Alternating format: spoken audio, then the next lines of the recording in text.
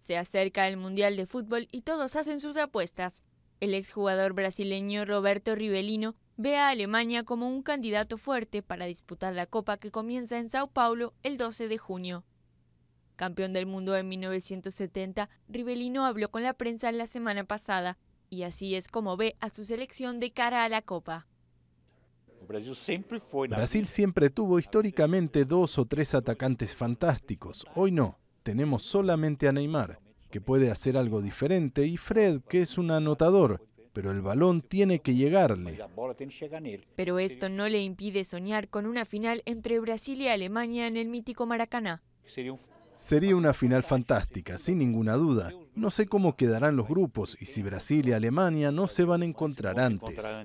Con retrasos en las obras, huelgas en el transporte y la policía, Brasil corre contra reloj para el puntapié inicial del torneo FIFA, que comienza en apenas 22 días.